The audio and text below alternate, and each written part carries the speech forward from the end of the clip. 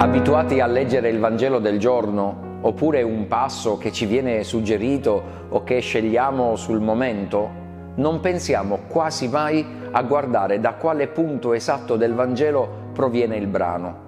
Che cosa è successo poco prima? Che cosa sta dicendo Gesù? Il caso del Vangelo di oggi è emblematico. Solo pochi versetti sopra troviamo uno dei testi più consolatori del Nuovo Testamento. Se due di voi sopra la terra si accorderanno per domandare qualche cosa, il Padre mio che è nei cieli ve la concederà, perché dove sono due o tre riuniti nel mio nome, io sono in mezzo a loro.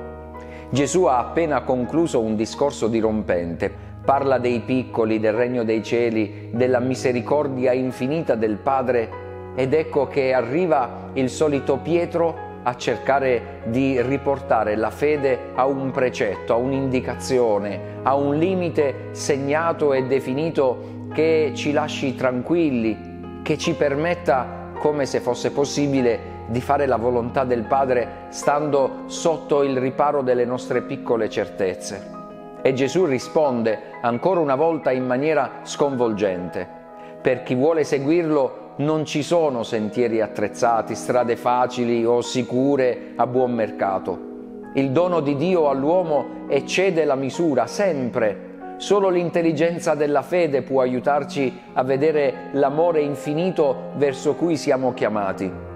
Quante volte ho il coraggio di chiedere a Dio nella preghiera il dono dello Spirito Santo? Riesco ad affidarmi al Signore nelle piccole o grandi scelte di ogni giorno? Buona giornata a tutti.